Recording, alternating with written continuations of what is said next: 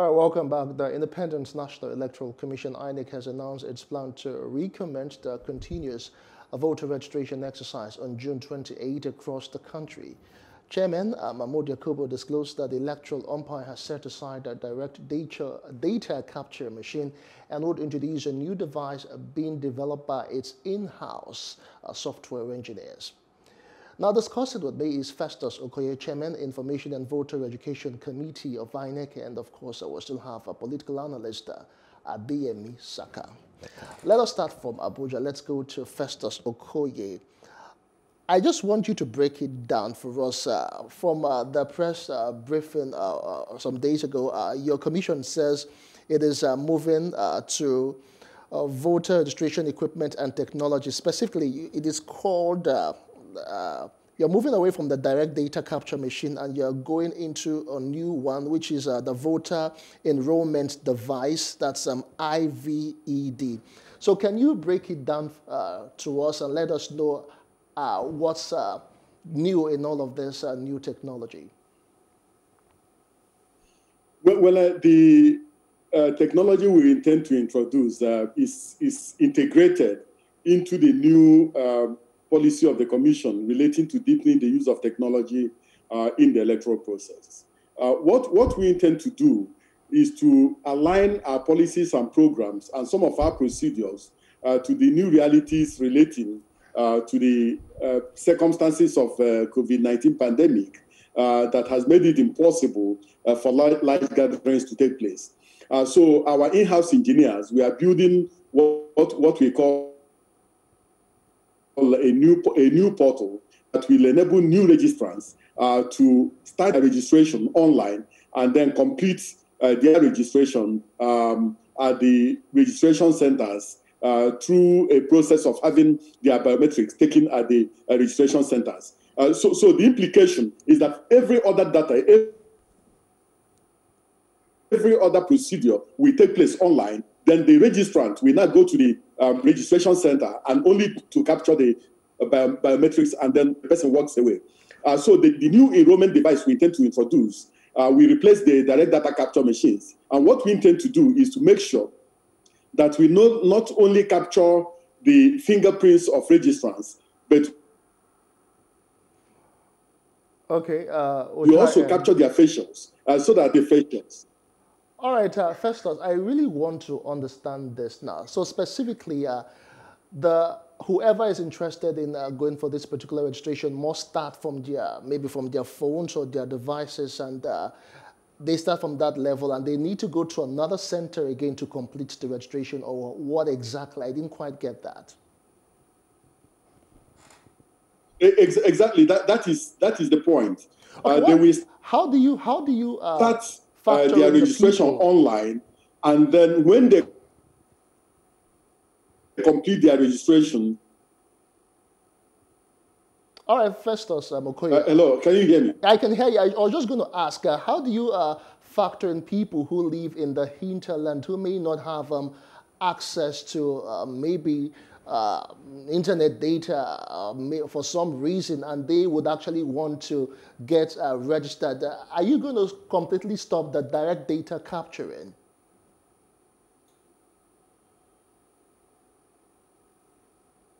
All right, we'll try and reconnect with him. Festus Okoye. I don't know if he's still there. Hello, Mr. Festus Okoye. Can you hear us? All right, let's talk to uh, Yemi Saka. We'll see uh, how we can uh, get across to Festus Okoye uh, yet again. So far, he has been able to explain. Uh, he says uh, whoever is interested in registering for the voter uh, exercise will have to do that from their phones. And when they are done, they have to go to a particular center and get, you know, the whole process completed. How do you see this new process, really? I, I don't know why. I think in Nigeria, if, you, if the government agencies or institutions wants to come up with policies. They just they must just make it difficult or cumbersome for Nigerians. I I don't know why I cannot do everything and even capture my face for my device. Mm. It's possible. Why do we still? Why are we? Why are we? Why, why are we so much? Why are we still in this marriage with hardship? About getting things done. We, we, I can sit down in the comfort. You see, I can sit down at home. I love, I have a lot of um, online um, financial app mm. where Nigerians um, that for loans and what have you. You don't even leave your house to get to have an account with them. You don't even leave your house. You don't even go to one office or center to, to capture your face. How do you just just position your phone and you just capture it? So if if small organizations could be doing that, then why not INEC? Why do we just like just to show that we are working, just to show that we are Nigerians, we must just put one hardship in the process. Why? Why are we so much? Are you saying this marriage electoral is deliberately? Uh, no, no, because because I think it's. I think I, I think it's not. I think it's it's it's. A, I think over time, not just INEC. Over time, I think we just like making the simplest thing cumbersome. Why can I register, fill in my details and everything, the complete the data form, and I still have to leave my the comforts of my home and go outside and probably go capture. And we're saying want to combat or probably be uh, COVID-19 compliant. And we're still going to, whether you like it or not, people, no matter the social distancing and everything, you're still going to gather a crowd somewhere. Okay. And why you're developing something, a nice innovation, a nice idea. Why don't you just go all the way? All the way. All right. Uh, I don't know if you've been able to reconnect uh, with Festus Okoye. All right, uh, looking at um, all of that, now there's this um, back and forth, uh, although INEC has a... All right, uh, Festus, are you still there? Can you hear me?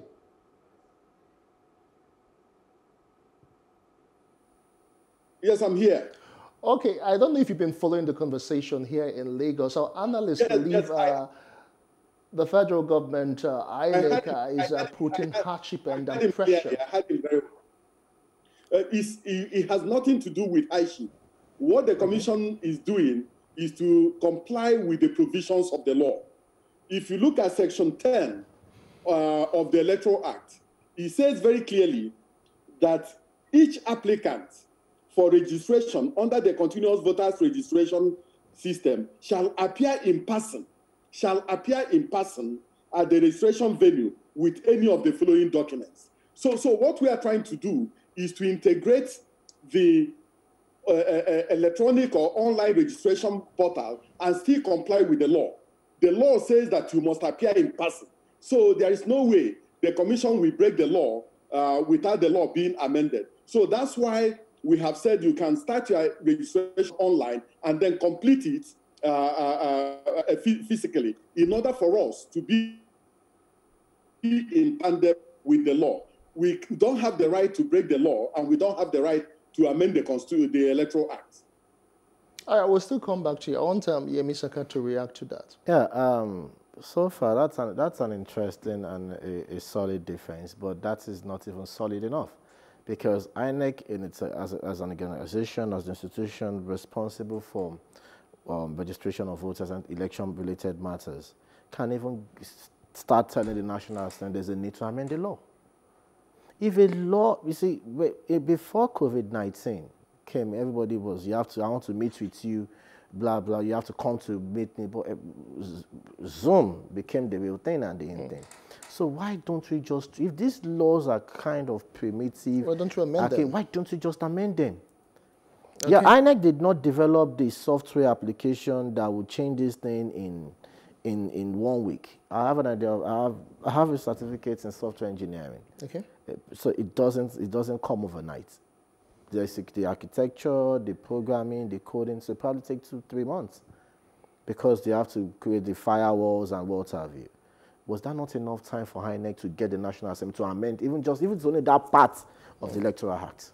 All right, uh, Festus Okoye, I want you to react uh, uh, to what uh, Yemi Saka just said, specifically uh, considering the fact that uh, Nigerians need to, you know, not suffer just to get uh, registered for elections. are you working along that line to amend the act so that um, Nigerians can actually just do these registrations seamlessly anytime soon?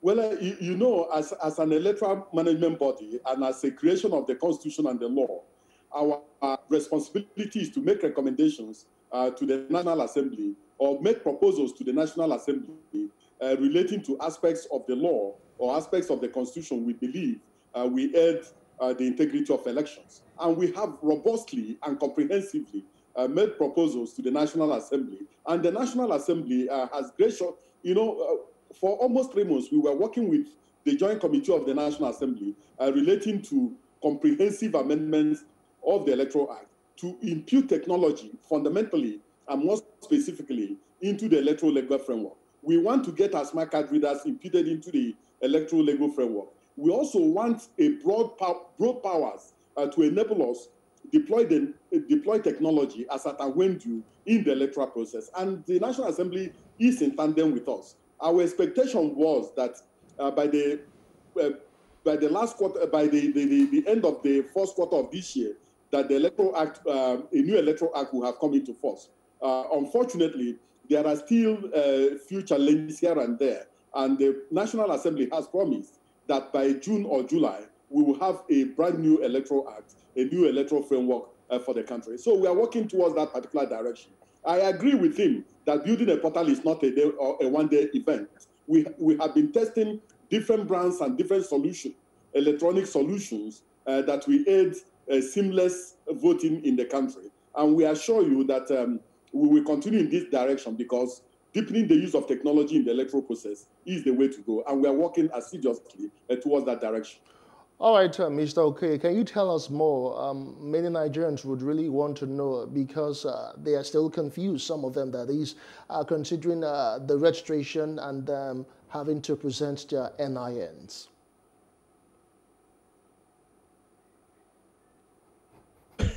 well, well uh, you know, the, the Independent National Electoral Commission, um, uh, can you hear me? Um, yes, go ahead, we can hear you. Yes, you see, the Independent National Electoral Commission is a creation of the Constitution and a creation of the law. Now, Section 160 of the Constitution of the Federal Republic of Nigeria uh, gives the Commission very broad powers relating uh, to its powers, relating to its processes, and also relating to its procedures. And it says that these procedures and processes of the Commission are not subject to the control or direction of any individual or any authority or anybody. Sec secondly, Section 10 of the Electoral Act 2010 as amended makes it very, very clear that if you want to register as a voter, there are documents that you must possess. It says that you either possess a baptism, a birth certificate, or a baptismal certificate, or a national passport, or a driver's license, or an, an identity card, or any other document that we prove the prove one, your identity, secondly, your age and your nationality. So these are the documents the law says you can present. Moreover, if you also look at Section 11 of the Electoral Act 2010 as amended, Section 11, subsection 3, it clearly states that it is the responsibility of the Commission to appoint registration officers.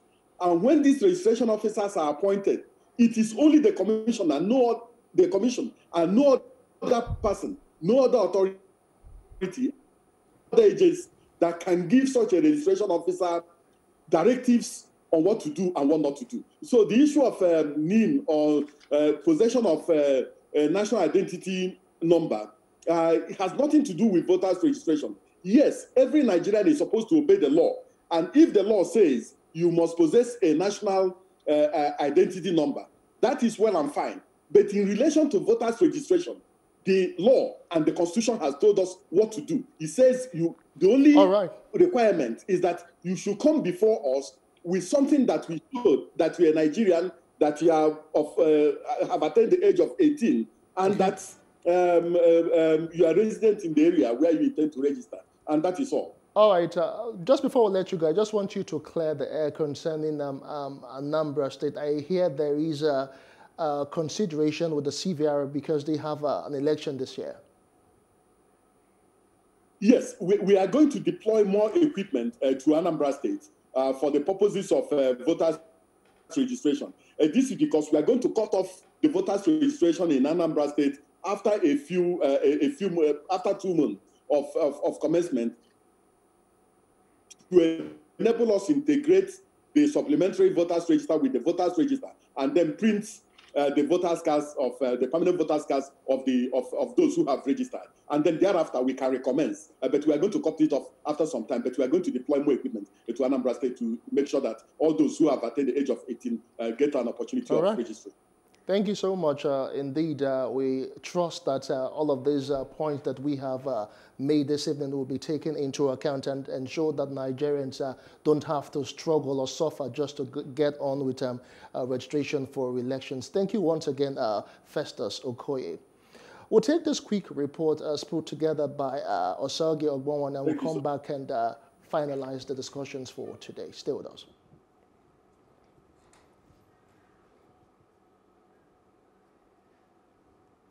Has set June 28th for the commencement of continuous voters registration. The body had announced the year 2020 to begin continuous voter registration, but failed to commence as promised. The body blamed the COVID-19 pandemic for its failure. The CVR could not recommence in 2020 due largely to the COVID-19 pandemic. In line with the general advice by health officials, regarding events involving large groups of people, we considered it inauspicious to restart the CVR at the height of the pandemic. Yes, I want to agree with them because of COVID. And we know that with COVID, a whole lot of logistics will be disturbed. And of course, that will have taken them into the first quarter of this year, 2021. The 2019 general elections saw as high as 84 million Nigerians register to vote, and INEC hopes to build on those figures. To improve on the process, INEC plans to make use of online registration portals and expand voter access to polling units. In this regard, the Commission is building a new online registration portal that will enable new registrants to commence registration online and subsequently complete the capture of their biometric data at designated registration centers. Yes, the online thing is my problem because it is not yet legal in Nigeria. There is no legal cover for people to register online, getting their cards online, and so on. So I don't think that one will work, except if in between now and June 28, the National Assembly or INEC is able to lobby the National Assembly to pass a law so as to make to amend the law to take care of that one. How important is the process and the need for Nigerians to take advantage of the exercise? And of course, the continual voter uh, registration process is a process which is opened for people to begin to register gradually. Not that when it is election window that is opened, then everybody will now clog the window trying to register which will create chaos and confusion. Okay. So to me, I would advise that Nigerians take advantage of this window that is open. INEC stated those expected to take advantage of this process to be all Nigerians above 18 who have never been registered, those who have lost their PVCs, and those who want to change their voting locations, amongst others. Osarogie Ogbonmwan, Plus TV Africa.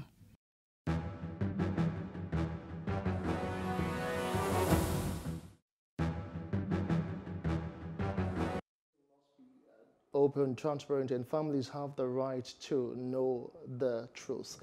The system needs to work for the people and not only for the government of those who are in the office. Right now, people are still careful to be publicly identified, and this is why we have not seen anyone come forward on what really happened, uh, you know, on that uh, and the EndSARS shootings and everything. The U.S. could have taken more time before evaluating the situation, even though I'm not in a position to determine the activities of countries' uh, diplomatic officials. Uh, Yemi Saka, thank you so much uh, for being a part of the show. Indeed, it has been one emotional time. Yeah, it's, it's, a, it's a, very, a very emotive topic to discuss, but we, we move on. Mm. Indeed, we move on, and that's the size of Plus Politics for tonight. I am Justin Akadonye. Many thanks for watching.